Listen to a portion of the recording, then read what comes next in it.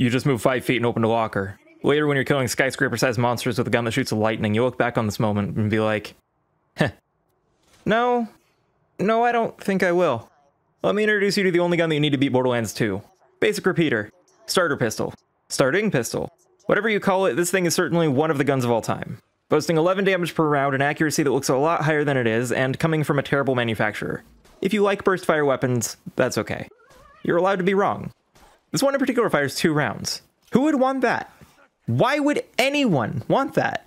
Sure, you can fire single bullets by not aiming, but it fires one bullet per trigger pull.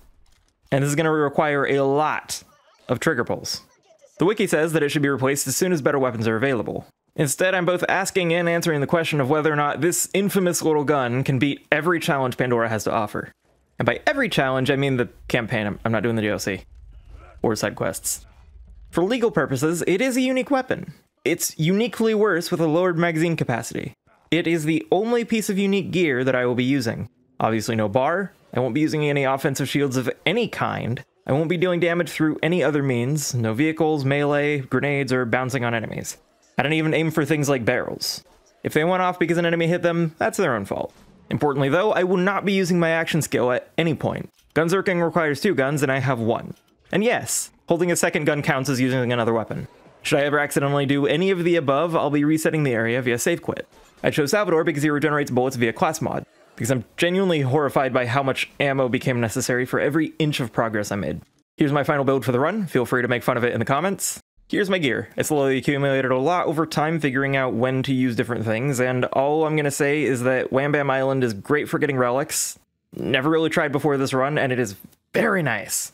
What you're seeing at the moment is of course the gun's intended use. It's so intended that they added multiple different guns to the game to replace it before you even start. When playing casually, I tend to just avoid this thing in general.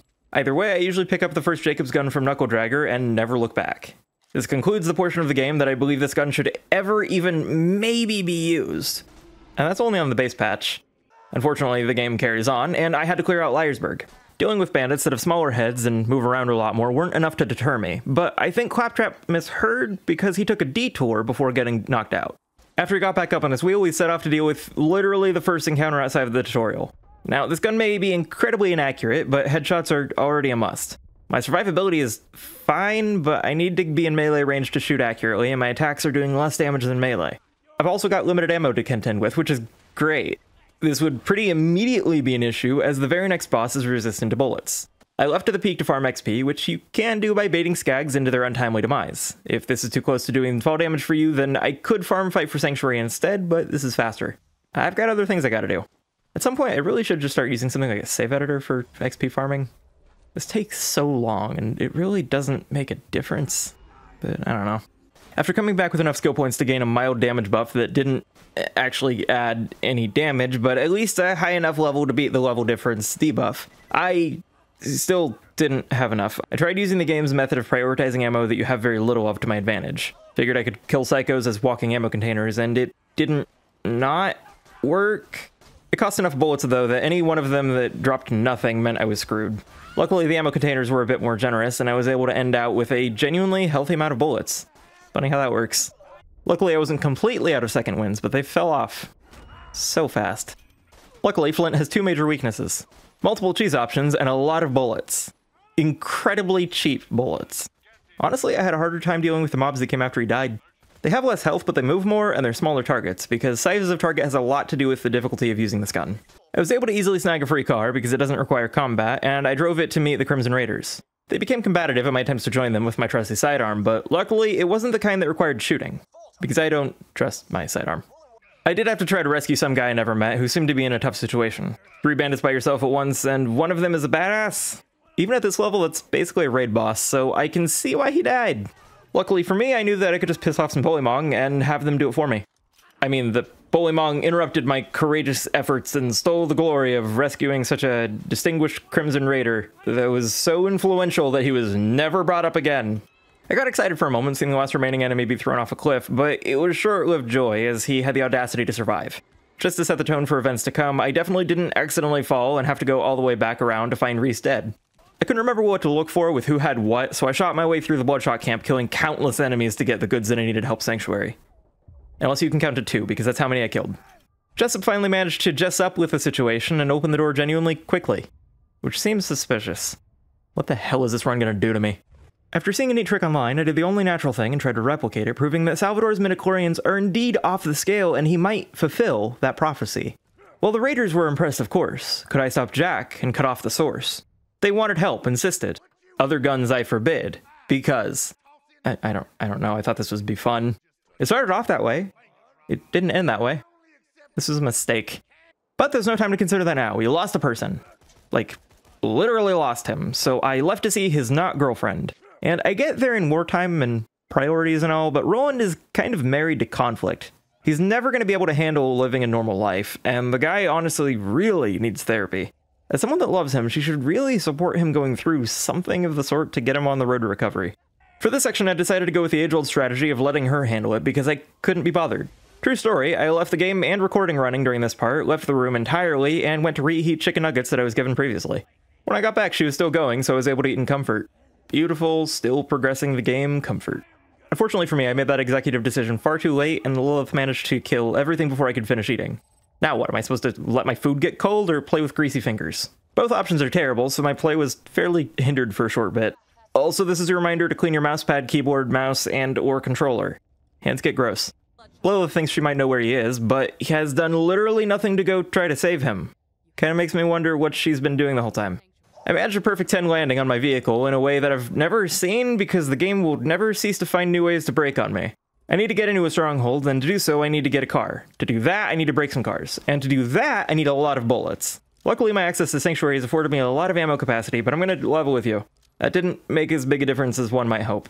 My only real strategy for getting the needed parts was to wait for the cars to get themselves stuck, and then pump a few, okay, maybe more than a few hundred bullets into them from the safety of not being able to be hit. Gotta love the cover in this game. A lot of these runs would be impossible if it wasn't this janky. I leveled up some more to solve my problems and started up a Headhunter DLC to do some vendor farming in an attempt to get a Hoarder class mod. For those that don't know, the Hoarder class mod gives you passive bullet regen, which is required for this run. Because I ain't gunzerking, and you can't make me.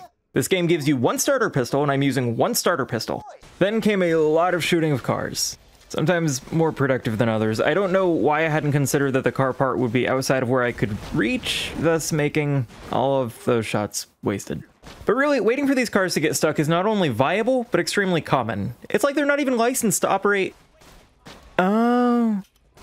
You know, now that I think about it, I got a beautifully sparkly car and headed out to fight Badmaw. Fact remained that I wasn't making use of barrels for the run, and that was honestly the only thing that I could think of to sort of give me an edge up here. Or that and the fact that I know you can hide up here to get good cover without the possibility of being flanked. What followed was a rain of bullets. I tried breaking the chains of his shield. I spent a pretty long while just shooting. And the thing that I discovered with all shield-wielding nomads is that there really isn't much of a difference between hitting them and hitting their shield. What's it gonna do? Reduce my damage output? The hell is it reducing? Not even Money Shot makes these numbers look impressive. After Badmaw had a Badmaw slowly bored into him over the course of countless rounds, I made my way into the Bloodshot stronghold. This place is infamous, and with good reason. This isn't it, but the reason behind it is good. You've got poor cover, a lot of enemies, and a pretty steep difficulty hike in your first outing. In this case, you could more or less put the Invincible after every enemy's name because I've seen raid bosses taken down faster than these random mobs. For more difficult encounters, there's a certain draw to just staying back and firing. I can't hit things often, but I'll get them eventually. I managed to find Roland, but he didn't have any idea where he was going either, got a taxi elsewhere, and he felt so awkward about it that he decided to go with the driver instead of just canceling. Now he's once again my problem, after having been my problem for the last few missions. When it came to fighting the driver to take Roland back home, though, I don't think it'd be a surprise to anyone to say that the damage on Warden isn't good. Isn't even remotely good. Some might even say bad. That's me. I'm that some. For those that don't know, if you don't kill this thing fast enough, you get sent to the gulag. Same fight, but considerably harder. I had to leave to farm out some survivability. On my way back through Bloodshot, I had restart multiple times due to accidental bounces, but I made my way back to the Warden, and it really didn't go any better. Am I overleveled? Absolutely. Is this still doing horrible damage? Also absolutely. Is that ever going to change?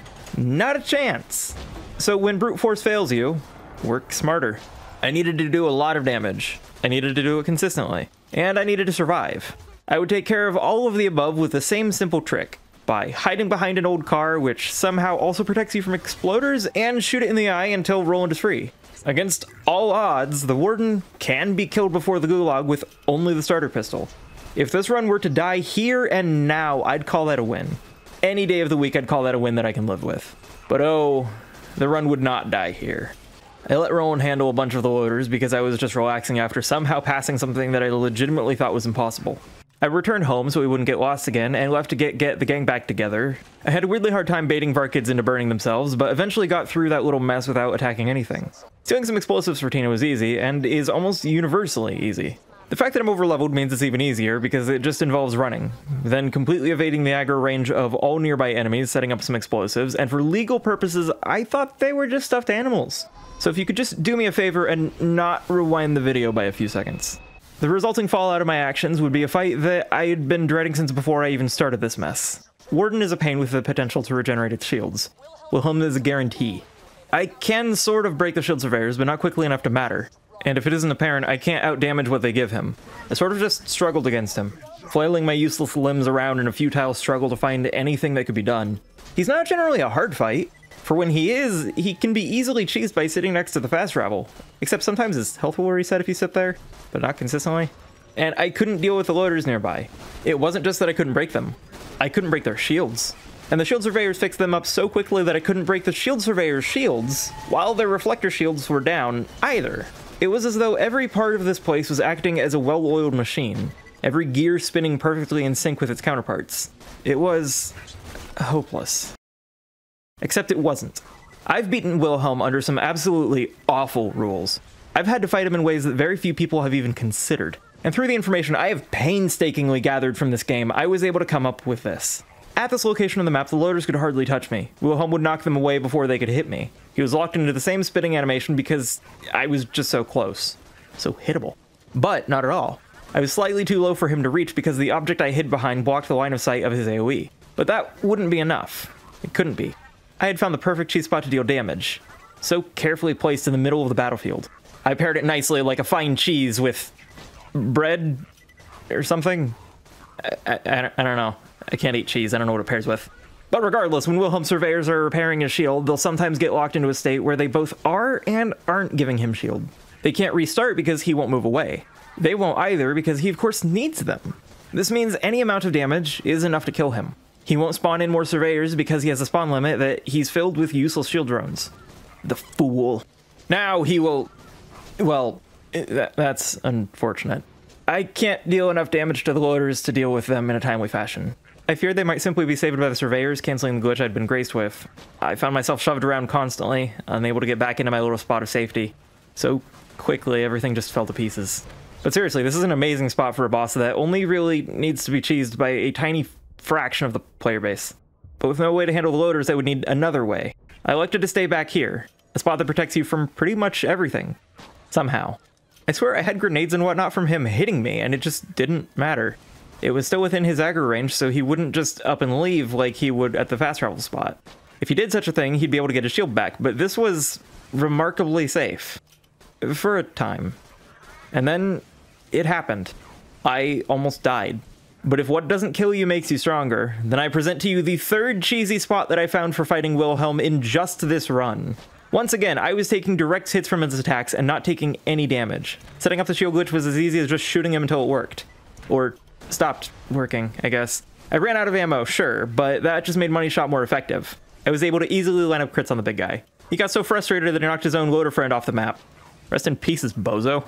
He did have one attack that could still actually hit me, and to be fair, it did a lot of damage. But it's really easy to avoid, and I can't believe I'm saying this, but Wilhelm was genuinely easy. Super long and tedious, but easy. If you line it up right, you can even jump back onto the main platform. Unfortunately for me, though, it was he who would have the last laugh. He threw the power core I was after into the void, and I had no way to retrieve it. I would have to face him alive and well once more. But in exchange for bringing him back to life, he gave me the core for free, and I left, because if I don't have to do that again, I ain't gonna.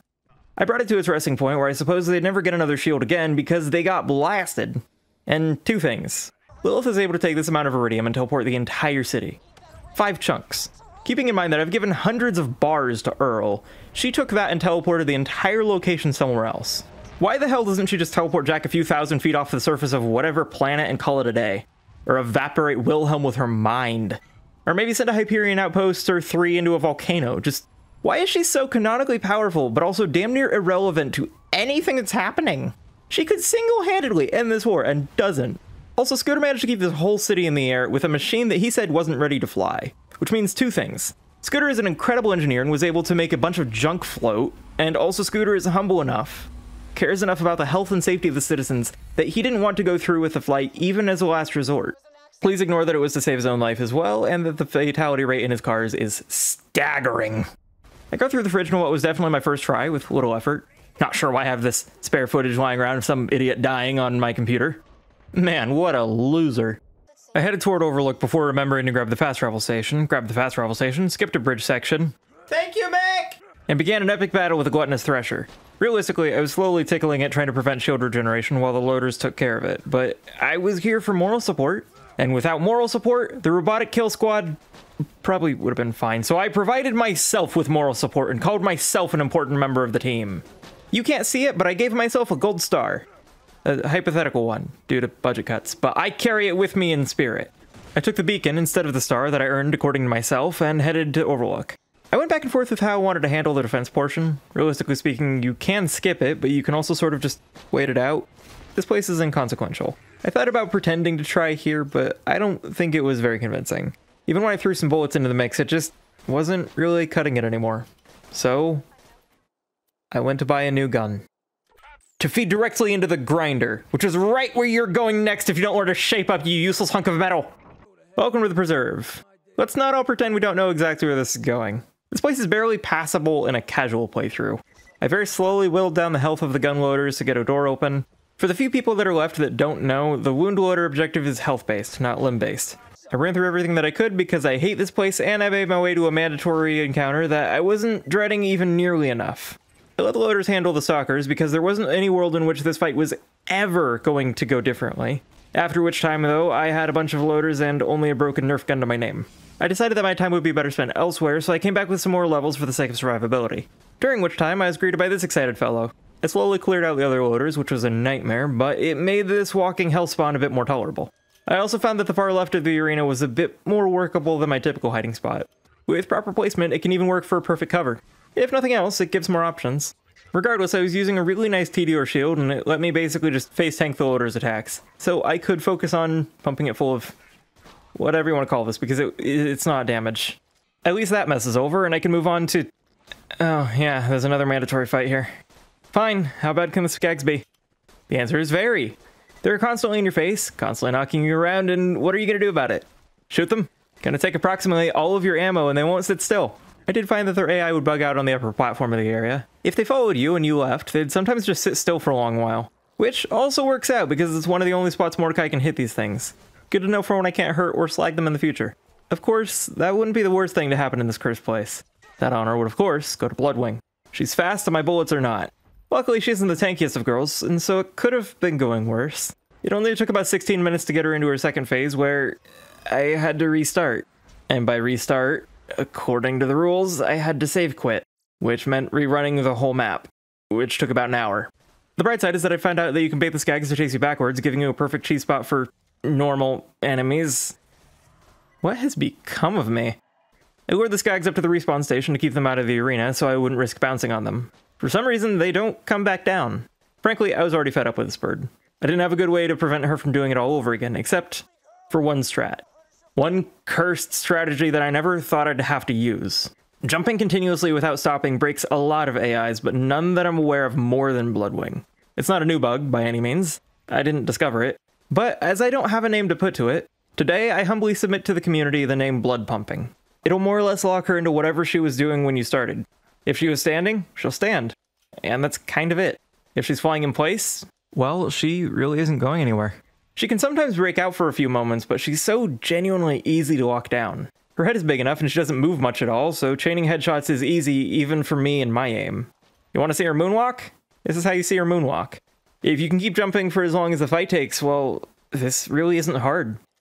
At all. You can use it in moderation to easily avoid any of her attacks, or you can blood pump your way to a boss that won't dodge or fight back in any meaningful way. With this strategy, she's genuinely one of the easiest bosses in the game, if you're willing to put in the time to jump. which, for the record, with the starting pistol, it was about 12 minutes.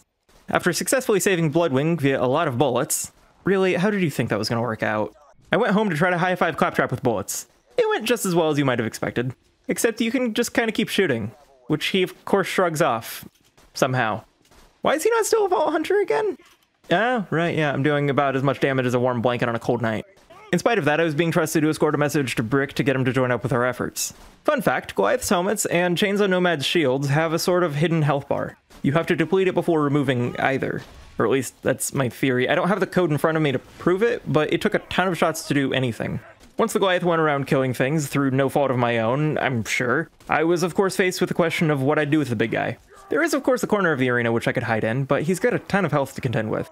Well, easy answer. I'd simply have him jump in such a way that he'd clip into Brick and stop moving entirely so I could consistently crit him to death without having to worry about silly things like aiming. This was definitely intentional and not at all a happy little accident. I swear though, it feels like there's just always a new way for this game to break on me. Afterwards, Brick, being the gentleman that he is, treated me to a lovely time of sitting around and letting him handle combat. If I'm being entirely honest, I do enjoy these runs. They can sometimes be painful, but I wouldn't be doing them if they weren't fun at all. That being said, there's something special about having the ability to just kick back and relax while still making progress. Let's face it, if I continued to actually try, I'd speed this up by maybe a few seconds at the most. Of course, right after would be agony. I spent a while, a really long while, trying to figure out how to handle Jack's body double. He's most vulnerable when his AI stops working. That tends to happen after his shield breaks for the first time when he's able to run away and back. So I tried a lot of things to break his seemingly invulnerable shield. The problem was that he has a ton of enemies around him, fully capable of shredding through what health I have. And as nice as my healing was, it wasn't enough to keep up, and as much as I could keep my distance, I'm pretty sure that this thing couldn't even accurately hit something that was lodged in the barrel. I ended up getting lucky enough to have him tail me to some cover with his allies a relatively good distance away, and you're seeing what it's doing with almost exclusively crits. I thought I had him here for a pretty solid bit, even in spite of the enemies around me, but he started moving again, ran away, and I had to do things the hard way. By which I mean I very slowly whittled down his health from up here. And even in the successful attempt to kill him, it just... I hate this fight. Even on a good day, I'm just not happy to see him. Till next time, you dead bastard! I collected Claptrap for everyone's favorite mission, if you ignore all of the other missions, and made my way to Thousand Cuts. The first hurdle would, of course, be getting by all of the enemies, which will eventually be difficult, I'm sure. The constructor is easier to handle when facing the wrong direction, and I could handle it relatively fine, but the loaders and whatnot would be a problem. Remember, this isn't a race. Every fight is a marathon. It's why even Salvador's passive healing is one of the most important skills in my current build. Sure, it's a half percent per second, but when fights last as long as they do, I need to survive with no other sources of healing. Again, sustainability is the name of the game, and when working harder won't help, working smarter is the way to go. This pipe is great as a general skip for a number of things, but it also works as cover against pretty much everything coming your way. The nukes can be an issue, but I mean, I can use a gun this time. It, it, it's fine. And as low level as it is, these turrets are fully manageable with non-Torgue endorsed merch. Part of me is surprised we haven't seen him more upset about these things existing in the later installments, but I suppose that would require Gearbox paying attention to the problem. And I know that it doesn't make sense for them to come back to the game after this long to fix such a niche issue, but Gearbox, could you please patch this one part of the game? Just the one. How long could it possibly take you? We're begging you here. And I sat around and waited for the badass version to break itself because I'm pretty confident that this was the fastest route to go about things anyway. I wanted to see about how long it'd take for that to happen by itself. I did forget and shoot it several times, but let's be real, it probably didn't change the time required too much. For the record, it was 17 minutes, 43 seconds from the time that it landed to the time that it dealt its own final blow. Then on to the other turrets. These ones aren't as bad, but imagine something sort of like this, and then multiply it by a total of 12 of these things that you need to break, and you probably have an alright idea as to how this went.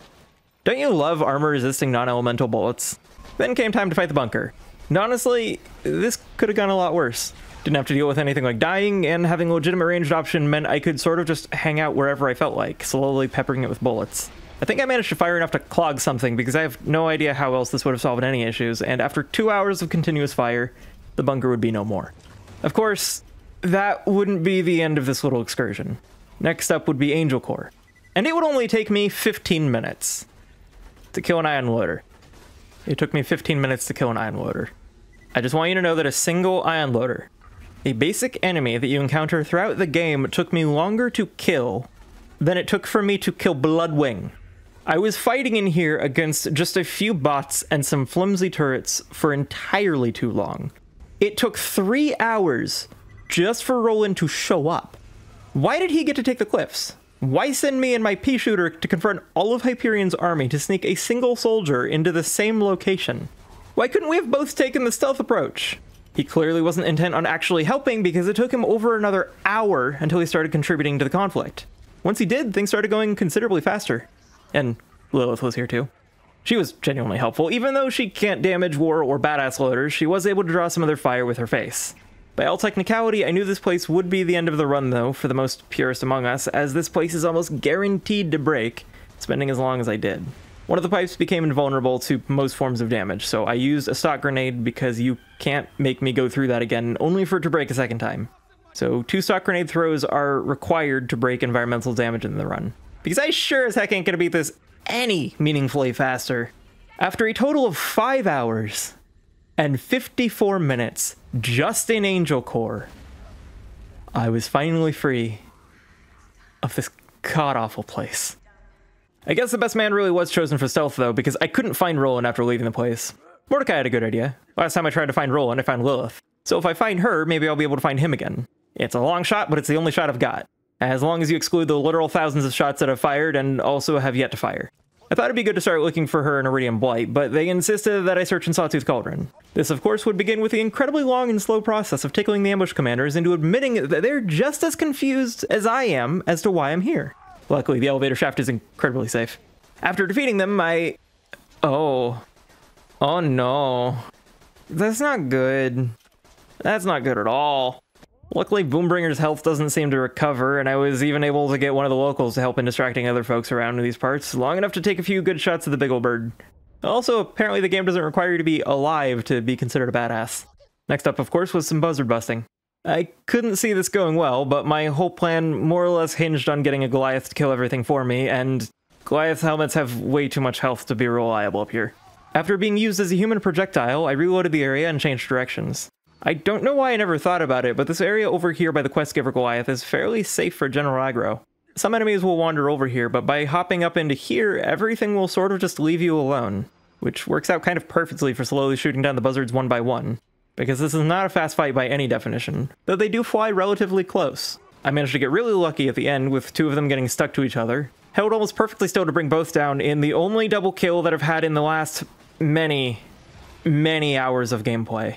I kept searching in some other place. Had to do some mild valve work, which was as easy as always, and I moved on to find a map to Lilith, which was as easy as always. But why do they have this? I headed back to where I wanted to search the first time and began desperately to try to open a door.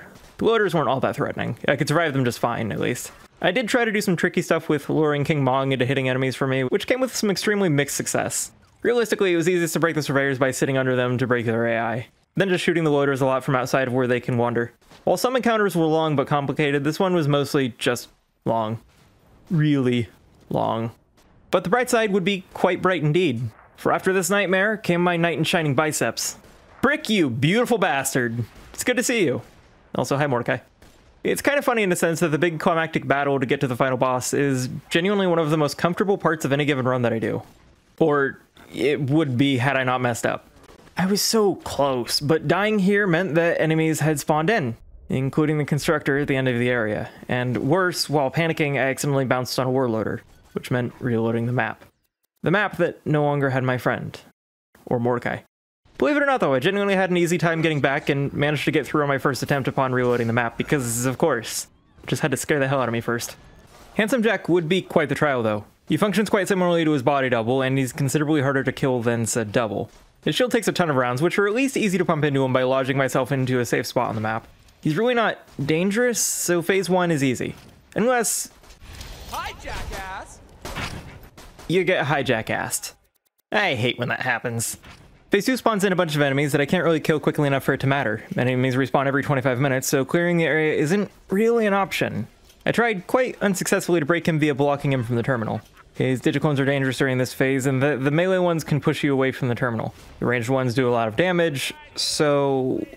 When all else fails, though, so too does Jack's AI.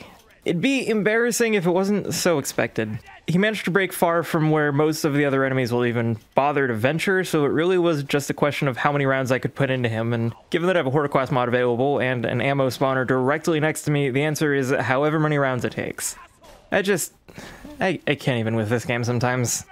And of course that means that the only hurdle left is the Warrior, an allegedly great alien power that never canonically did anything impressive on screen and I'm here today to prove that it's an impressive. See, the game doesn't share health values with you. According to the internet, though, this fella has around 207,000 health. Each of my shots to its body deals 3 damage. Shots to its weak points deal 5 damage. I can't deal enough damage to expose crit spots, otherwise shots to its tiny mouth deal 10 damage. It was so bad that this guy was just ignoring the laws of physics with its breakdancing. Luckily, this place is incredibly safe, so I was able to slowly chip away at its health, with a gun that's closer to a suggestion than it is a weapon. And you may be wondering, how long did this take? Well, while this wasn't the most intense fight in the world, nor the most complex, it did require my attention to properly aim to prevent it from taking as long as it could have. And it required my attention for six hours straight. Six hours of just this. I would once again like to remind you that this is a single fire weapon that fires two bullets while aimed in. But still, you have to pull the finger for each instance of firing this pint sized piece of fury. It is relentless. It is unending. Thousands of rounds as I turned Borderlands into something closer to a clicker game than a shooter, but I'll say again, the Warrior never did anything impressive. After all, like everything else that came before it, it died to the basic repeater. My first gun. My only gun. And the only one you need to beat Borderlands 2. As long as you've got a spare 47-ish hours laying around. It's so powerful, in fact, that it even has the power to one-shot Handsome Jack. Where the hell were you guys five minutes ago? If it weren't for the Vault Hunter, we'd all be dead. Five minutes? Try five hours. Seriously, you had six hours to catch up with me. But I've located Lilith, so now it's only a matter of time until I find Roland. Maybe in the sequel or something. Dude's crazy good at hiding. Anyways, while I get looking for him, I'd like to thank my lovely channel members. Your kindness is greatly appreciated. Regardless of who you are, though, I hope you enjoyed your time here. You probably know how to use social media, and I hope that means I'll get to hear your thoughts now and on any future outings. Until then, remember to stay safe, spread some kindness in the world, and I hope that you have a wonderful, wonderful rest of your day. Bye bye.